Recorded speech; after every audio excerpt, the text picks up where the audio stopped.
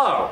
Syrian refugees like my friend Um Ahmad. Hi, Um Ahmad. They have limited resources at the refugee camp. They have a limited kitchen. They have limited equipment, but that doesn't mean they have limited creativity when it comes to making food. So my friend Um Ahmad is turning the food she gets at the refugee camp into an incredibly delicious meal like this one and it starts with simple ingredients like this, this, this, this, and this. She chops it all up, cooks it, and fries it.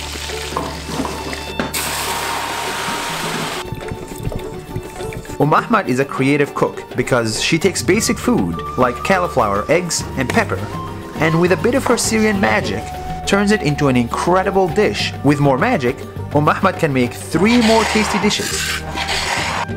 You're right, this is a lot of food for Umm Ahmad and her daughter Omi. Before the Syrian war, she used to cook for her family of 20 people every day. Now, she lives only with her daughter and son. But it's hard to change habits.